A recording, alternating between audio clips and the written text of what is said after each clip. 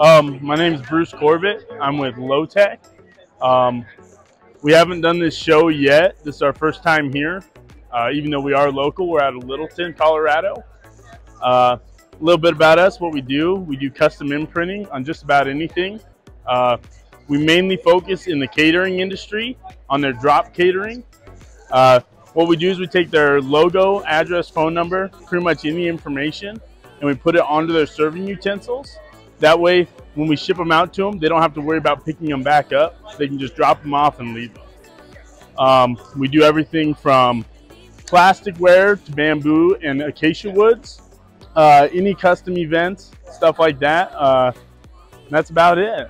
But everything so far here's been great. Uh, we've gotten a bunch of great leads.